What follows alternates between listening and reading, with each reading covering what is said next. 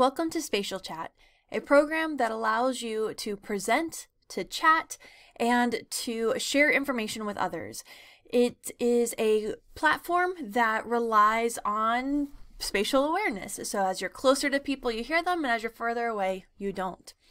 So for this conference, you're going to be given a link. It's going to be available on our mcsc.website website, and here you'll find the link to access our spatial chat room the day of the conference. It is highly recommended that you use Google Chrome because spatial chat is optimized for Chrome. If you're having issues, if you're using Firefox or Edge or Safari or any other platform, most of the time moving to Chrome will fix those issues. So once you have clicked the link to the spatial chat room, you're going to get prompted um, to enter in your name. So I usually use this for teaching. I'm going to actually change it to my first and last name. You can also upload a profile picture. So Spatial Chat does use webcams, but if you have your webcam off, you can use a picture so that it still shows your picture even if your webcam is off.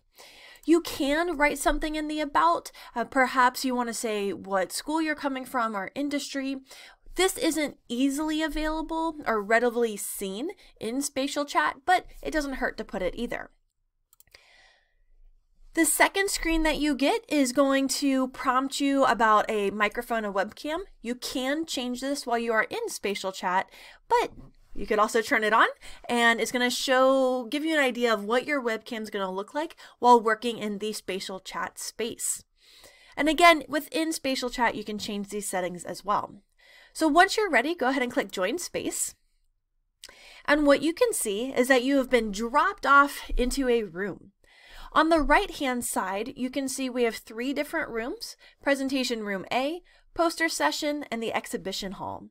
Now these are going to change the actual day of the conference, but this is giving you a rough idea of what it's going to look like. Some other things you can see is down here on the bottom. Here are your camera and microphone options for muting and unmuting yourself.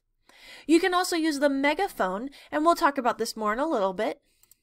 You can also share emojis so that everyone in the space can see it. And you can also share your screen, which we'll show you uh, later. You can also share individual images, GIFs, and videos.